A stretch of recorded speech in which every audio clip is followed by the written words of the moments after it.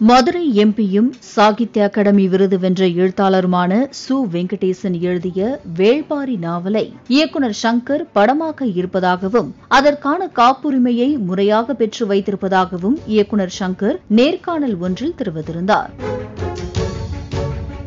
இந்நிலையில் இயக்குநர் சங்கரின் எக்ஸ்தல பதிவு பேசுபொருளாகி வருகிறது. அப்பதிவில் சு. வெங்கடேசன் எழுதிய தமிழ் நாவலான நவயுக நாயகன் வேள்பாரியில் இடம்பெற்றுள்ள காட்சிகள் பல திரைப்படங்களில் அனுமதியின்றி பயன்படுத்தப்படுவதைக் கண்டு கண் கலங்கினேன் என்று இயக்குநர் சங்கர் குறிப்பிட்டிருந்தார்.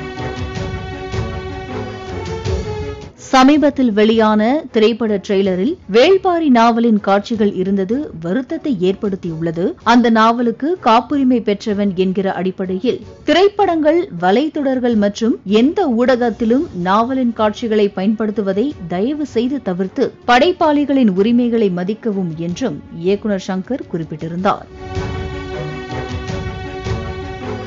வேள்பாரி நாவலை தழுவிய காட்சிகள் படங்களில் இருந்தால் சட்டப்பூர்வமாக நடவடிக்கை எடுக்கப்படும் என்றும் இயக்குநர் சங்கர் தெரிவித்துள்ளார்.